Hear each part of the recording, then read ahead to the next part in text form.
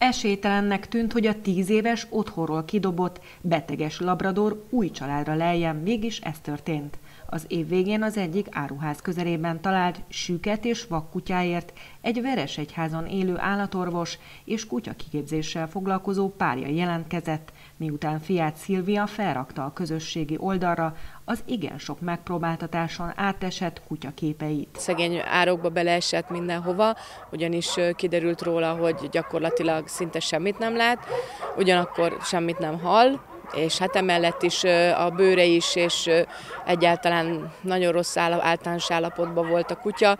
Mi elhelyeztük, és az első dolgokat, amik szükségesek voltak, a több tagú család a négy lábúért azonban nem tudott leutazni Szexádra, ezért újabb felhívást tett közé a Szexádi kutyamenhely vezetője. Nyolc ember jelentkezett arra, hogy segítsen eljutnia a Labradornak új családjához.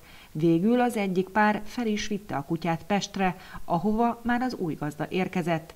Bori azt mondja, kutyák között zajlik az élete, és két idősebb állata mellé régóta szeretett volna egy újabb kutyát. Most alakult úgy, hogy, hogy megnyílt ez a rés, tehát van, van kapacitásunk arra, hogy segítsünk egy ilyen kutyuson, és azt is gondolom, hogy egy olyan embernek, akinek erre lehetősége van, tehát azért nálam 4-5-6-7 kutya is van adott esetben, akikre vigyázok, ott, ott igazán elfér még egy éhes száj. Tehát egyfelől ez szerintem kötelességünk is nekünk, hogy, hogy megadjuk ezeket a segítségeket azoknak, akik, azoknak a kutyáknak, akik alapvetően ezt már nagyon kis eséllyel kapják meg.